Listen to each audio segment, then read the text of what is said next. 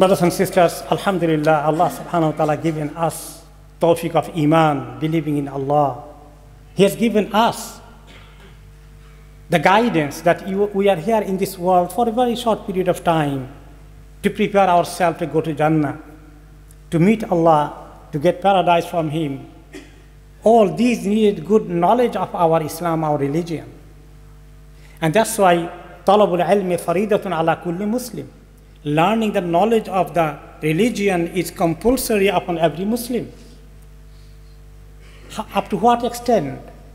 When we, uh, our parents sent us to the masjid, to the maktab, to the katatib, to learn some very basic primary knowledge, many people will be limiting themselves with that amount of knowledge in primary stage.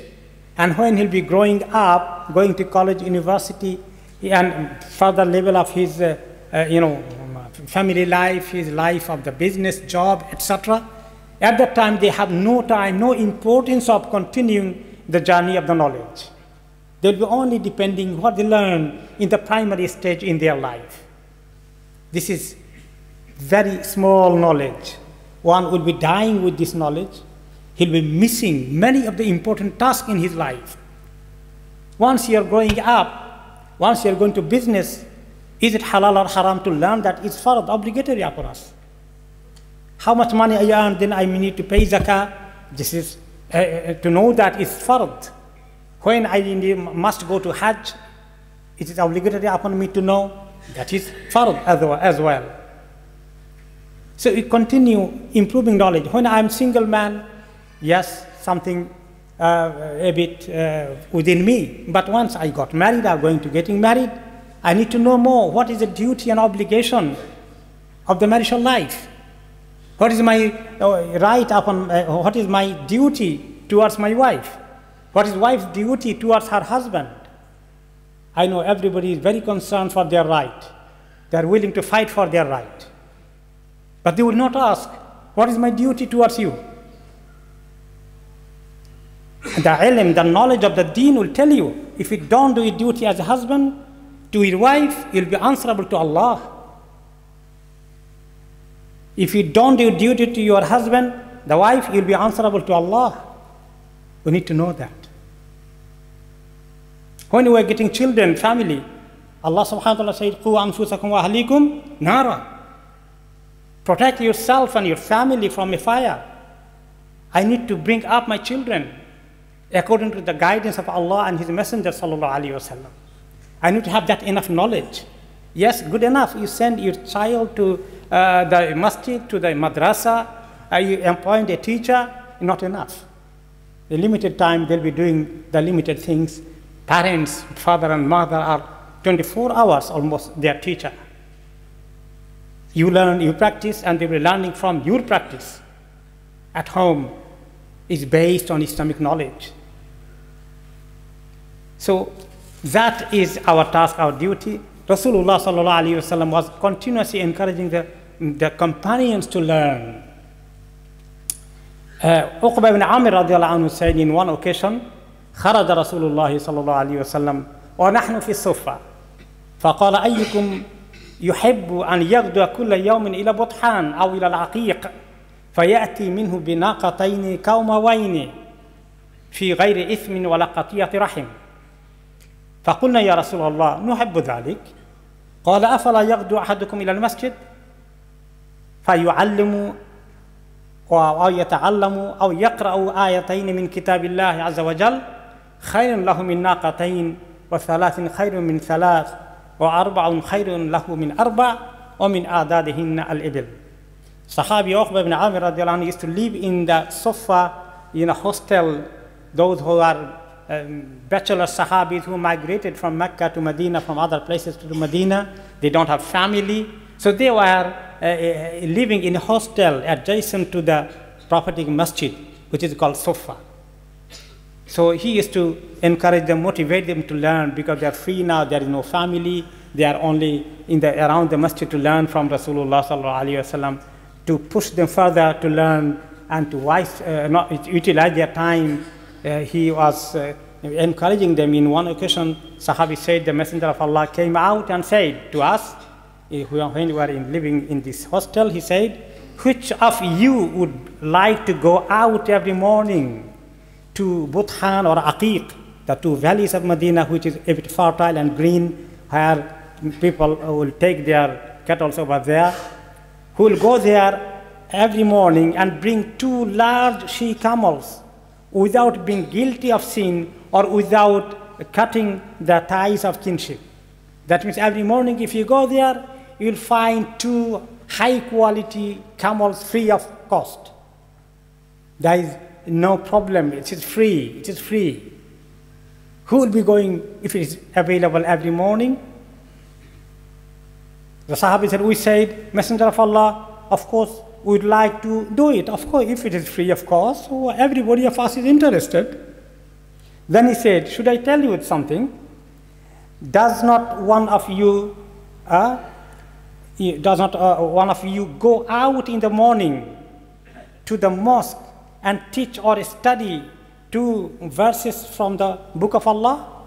If any one of you go in the morning in the Masjid al-Nabawi and you try to teach and learn at least two verses of the Quran, then it is better for him to get two free she camels. Learning or teaching two verses of the Quran, referring to the Islamic knowledge, is much better than getting two camels free. If you learn three verses or teach, better than you achieve uh, uh, three camels. If you learn or teach four, then you are getting much more than four camels. And then he continues, he said, and their number in camels. So this way he was encouraging them, and Sahaba, of course, were uh, always responding to his, his guidance. Allah subhanahu wa ta'ala even instructed the Prophet sallallahu alaihi wasallam to make dua to Allah to increase his knowledge. وَقُلْ رَبِّ زِدْنِي عِلْمًا You say, Oh my Lord, increase me in knowledge. So all of us do dua. Rabbi zidni that's very good. But we just limit with the dua. Don't take any step to learn. No.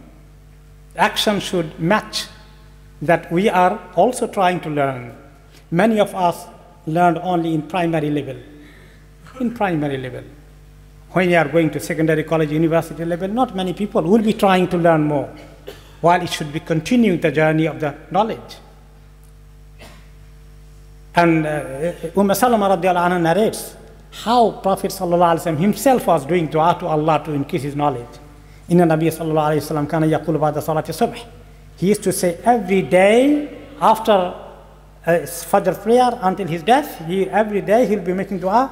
Allahumma inni as'aluka ilman nafi'a wa Allah I seek you, I ask you to grant me the alim which is beneficial, wariskan tayyiba, and rizq the sustenance which is good and pure, amalan mutaqabbala, wa grant me the deeds which will, be accepted by you. So he continues with the dua. So ilm is very important. It's, it's not nafal. Many people may think, I learn, I know how to pray, basic things fine. If I can learn more, all this nafal. And you know, uh, they don't consider it as fard. Many of the ilm after that becoming farad, As I said earlier, then when you are single, after a certain extent, when getting married, then your, your level of knowledge should know about family life, husband, wife. Then you are getting children. Yes, we need to know what is the duty towards our children.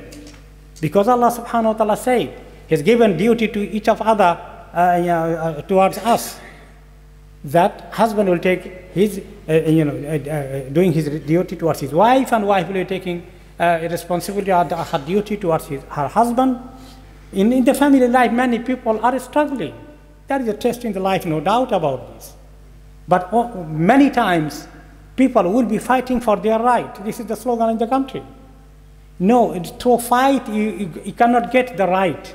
And that right is very bitter, even you get it.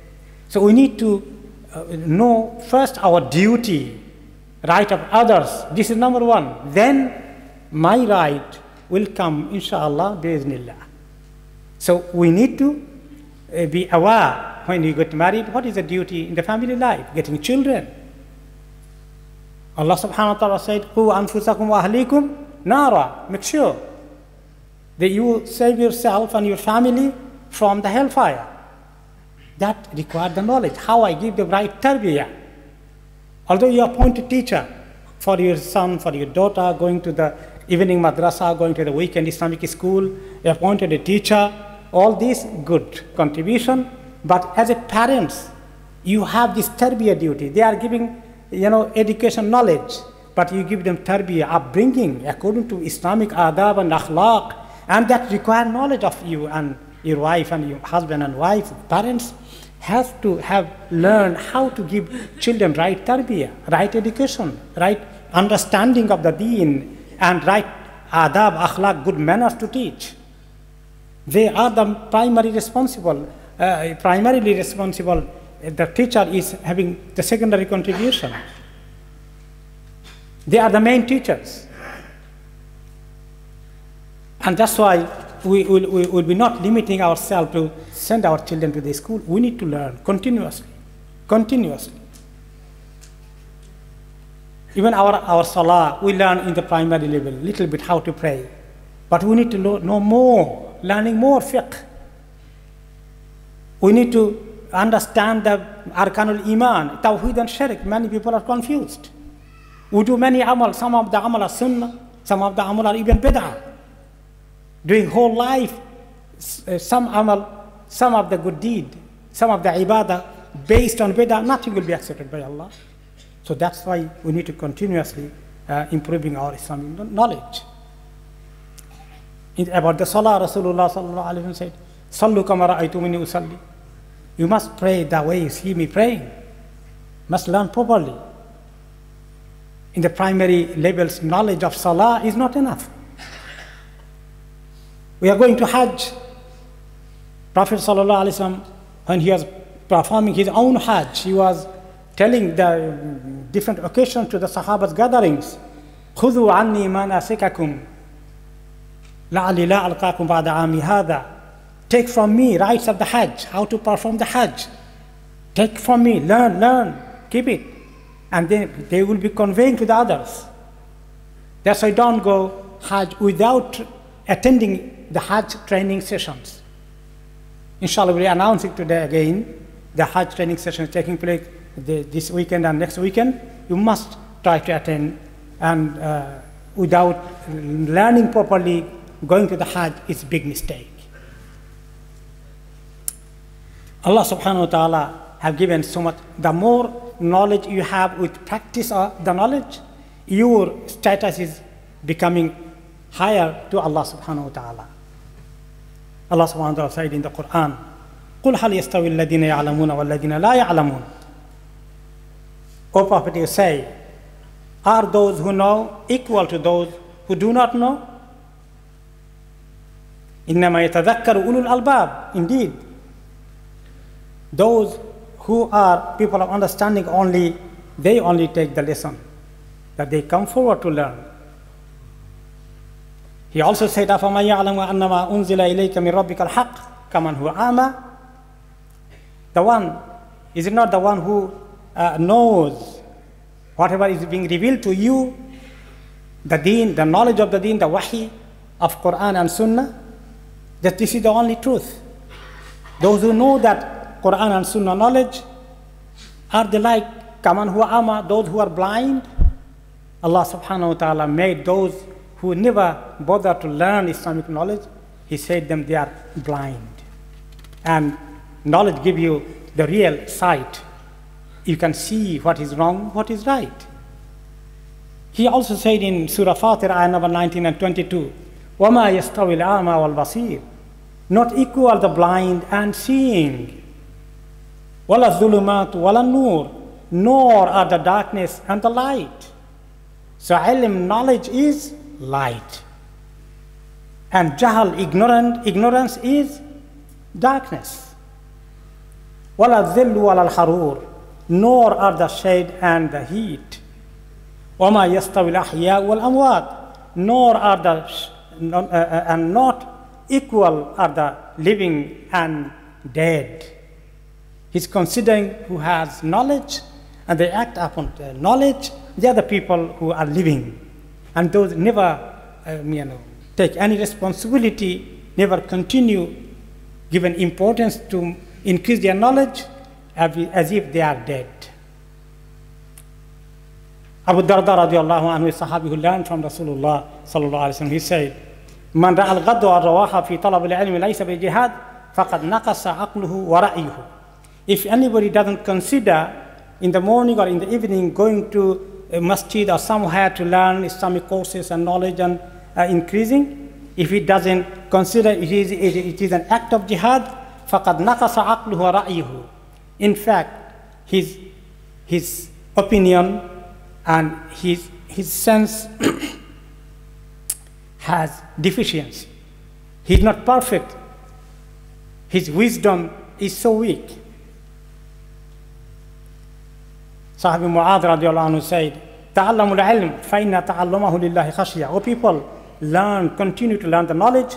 Learning knowledge of Allah brings you the fear of Allah. You'll be not doing injustice to your wife or your husband.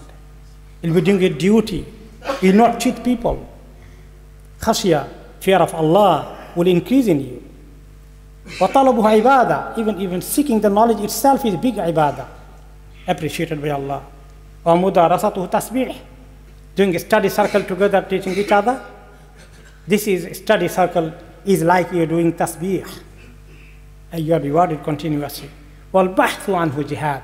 If you are searching a masala you don't know, reading and searching and searching more, then as if you are contributing in jihad. Ali radiallahu anhu said, guided us. If I ask you, you know, somebody, uh, do you continue learn every day or every week, every month something? Do you attend any Islamic circle? You attend tafsir session, hadith session, fiqh session? So, brother, I have no time. I, my job is long hours. I have to run the business, nobody's there. Always many excuses. Yes, after minimum, it is obligatory uh, to learn for your maintenance, for your family maintenance, that's true. But beyond that, which one is better? Acquiring knowledge or acquiring wealth? Ali radiallahu anhu says, Al-ilmu khayrun min al-mal. The knowledge, the age much better than the wealth, if you gather. Al-ilmu yahrisuka wa anta tahris al-mal. Ilm will guard you, will save you, will protect you. And you need to guard your wealth. Somebody may take your wealth. والعلم حاكم والمال محكوم عليه. The knowledge is the ruler. And the wealth is the ruled one. The ilm knowledge will tell the wealth what is in the wealth, how much zakat you need to pay, what is halal, this is haram money, all dictated. So the ilm is much upper uh, position holder than the wealth. والمال تنقصه النفقة والعلم يسكو بالنفقة. The wealth will decrease if you are spending, but if you spend knowledge, it will not decrease, rather it will increase. You teach people more, mashallah, your knowledge will not come to decrease, rather it will increase. And we need to continue with this. May Allah subhanahu wa ta'ala give us tawfiq that we continue in our journey of acquiring knowledge and inshallah matching with our practice as well. May Allah give us tawfiq. بارك الله لي ولكم في القرآن العظيم ونفعني وإياكم بما فيه من الآيات وذكر الحكيم وأقول قولي هذا وأستغفر الله لي ولكم ولسائر المسلمين من كل ذنب فاستغفروا واتوبوا إليه إنه هو الغفور الرحيم